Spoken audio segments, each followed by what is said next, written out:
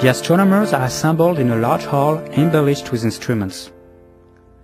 The president and members of the committee enter. Everybody takes his seat. Entrance of six men servants carrying the telescopes of the astronomers.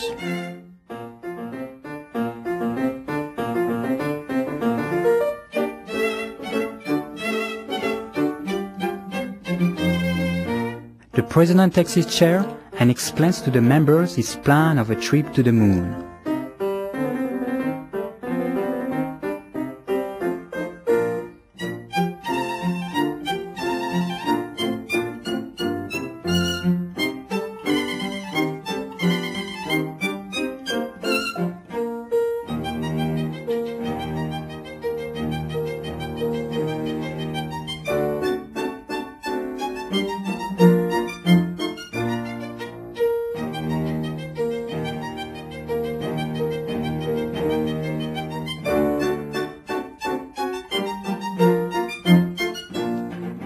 His scheme is approved by many, but one member violently opposes same.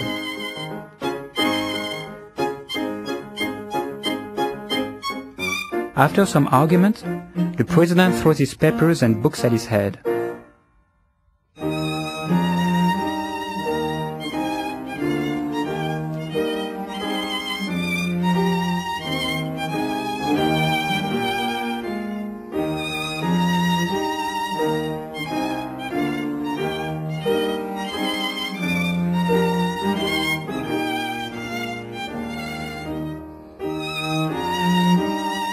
Upon order being restored, the trip proposed by the president is voted by acclamation. Five learned men make up their minds to go with them. The manservants bring traveling suits.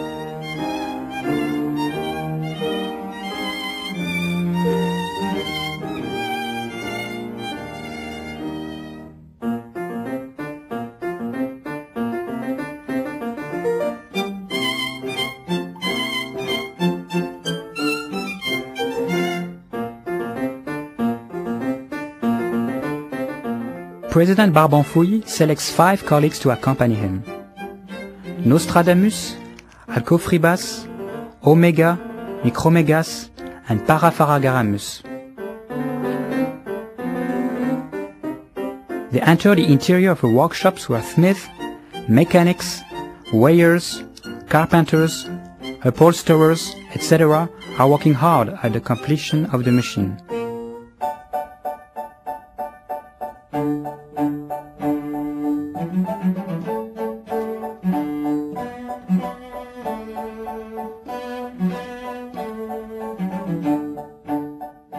Micromegas accidentally falls into a tub of nitric acid. A workman informs the astronomers that if they would ascend to the roof, they would witness a splendid spectacle, the casting of the gun. The astronomers hasten to a ladder and climb on the roof where they finally arrive. Against the horizon, the chimneys are seen belching forth volumes of smoke. Suddenly, a flag is hoisted. At the signal, a mass of molten steel is directed from each furnace into the mold for the gun. The mold pours forth flames and vapor. This causes much rejoicing among the enthusiastic astronomers. On the top of the roofs of the town, pompous preparations have been made. The shell is in position ready to receive the travelers. These arrive.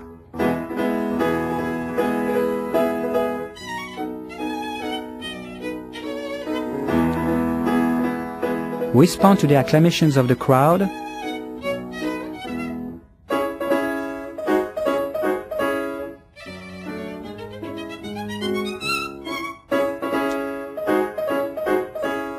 and enter the shell.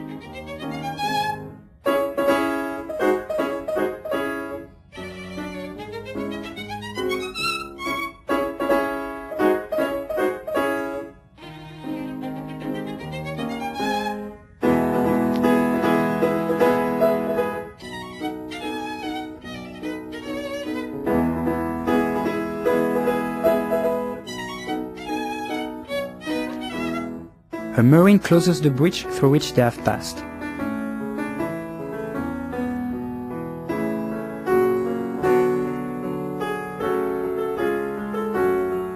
A number of gunners are now pushing the shell up an incline into the mouth of the gun.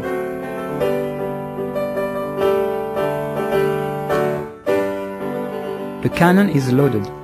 The breech is closed. Everyone is anxiously waiting for the signal which starts the shell on its voyage.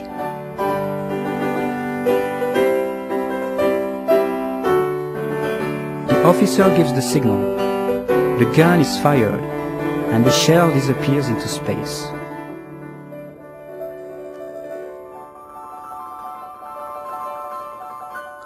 The shell coming closer every minute, the mood magnifies rapidly until finally it attains colossal dimensions. Suddenly, the shell pierces the eye of the moon. The shell comes down with a crash.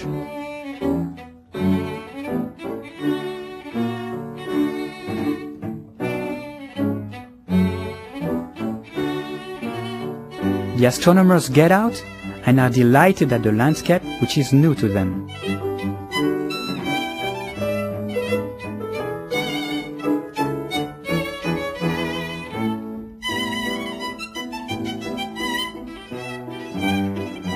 Against the horizon, the Earth is rising slowly into space, illuminating the picture with a fantastic light.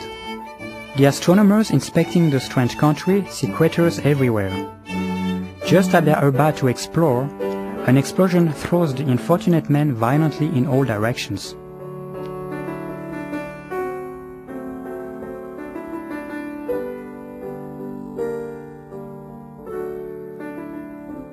The astronomers show signs of fatigue after the rough trip they have just had.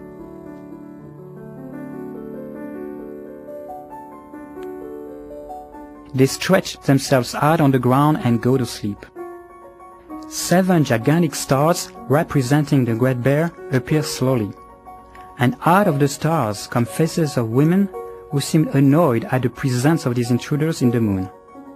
In their dreams, they see passing in space comets, meteors, etc. Then, the stars are replaced by a lovely vision of Phoebus on the crescent, of Saturn in his globe surrounded by a ring, and of charming young girls holding up a star. They decide to punish the terrestrial in an exemplary manner. By order of Phoebus, snow is falling from all quarters, covering the ground with its white coat. The cold becomes terrible. The unfortunate voyagers wake up half frozen.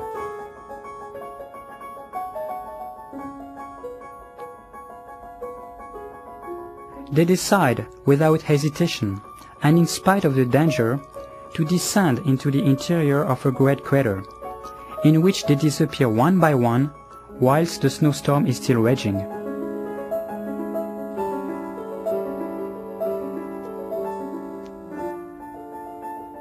The astronomers arrive in the interior of a most curious grotto, filled with enormous mushrooms of every kind.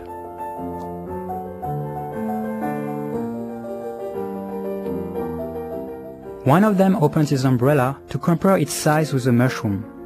But the umbrella suddenly takes root and transforming itself into a mushroom, starts growing gradually, attaining gigantic proportions. The astronomers suddenly notice strange beings coming out from underneath the mushrooms, while making singular contortions. These are the Selenites, or inhabitants of the moon. A fantastical being rushes on an astronomer who defends himself and with a stroke of his umbrella, the selenite bursts into a thousand pieces. A second suffers the same fate. But the selenites are arriving in numbers. The terrified astronomers, to save themselves, take flight with the selenites in pursuit. Succumbing to numbers, the astronomers are captured, bound, and taken to the palace of the king of the Selenites. On a splendid throne, surrounded by living stars, the Selenite king is seated. President Barbenfouillis makes a dash for the king of the Selenites, and, lifting him like a feather, throws him violently on the ground. The unfortunate king bursts like a bombshell.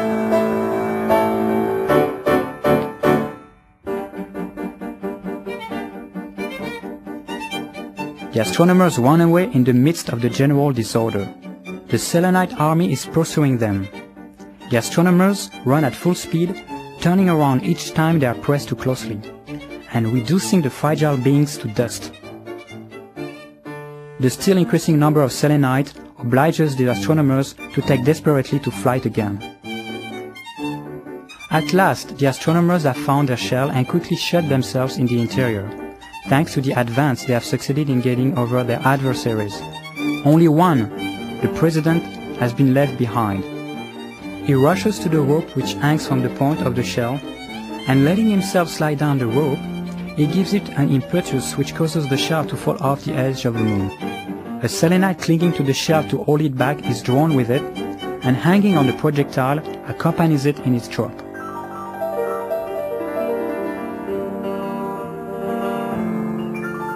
The shell falls with sickening rapidity.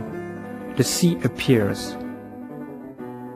We continue following the course of the shell into the bottom of the ocean.